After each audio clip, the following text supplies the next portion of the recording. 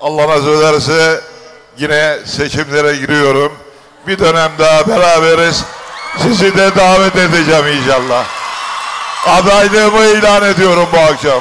Yerel seçim tarihi yaklaştıkça belediye başkan adayları merak ediliyor. Karadeniz Ereğli'de birçok isim başkanlık için sahaya çıkmaya hazırlanıyor. Cumhuriyet Halk Partili Belediye Başkanı Halil Posbıyık, Cumhuriyetimizin 100. yılı kutlamalarında yeniden belediye başkan adayı olduğunu açıklamıştı.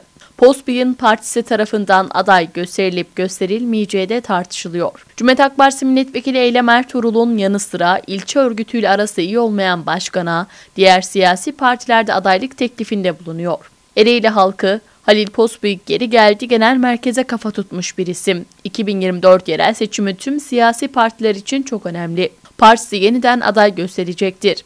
Başkanın karşısına kim çıkarsa çıksın seçimi kazanacaktır. Ereğli Belediyesi'nin Cumhuriyet Halk Parti'de kalmasını istiyorlarsa örgütlerle verilecek karara saygı duymalıdır. Ereğli halkı yerli adaya oy verir ifadelerini kullandılar. Allah nasip ederse yine seçimlere giriyorum. Bir dönem daha beraberiz. Sizi de davet edeceğim inşallah. Adaylığımı ilan ediyorum bu akşam.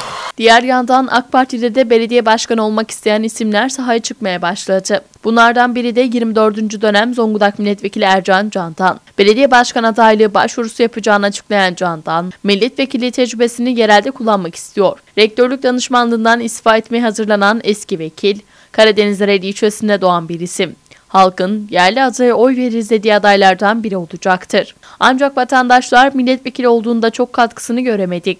Belediye başkanı seçildiğinde değişeceğini düşünmüyoruz. Ercan Candan naif yapıya sahip. Belediye başkanlığı onu zorlayacaktır. Ereğli'nin yapısı Zonguldak merkez ve ilçelere benzemez dediler.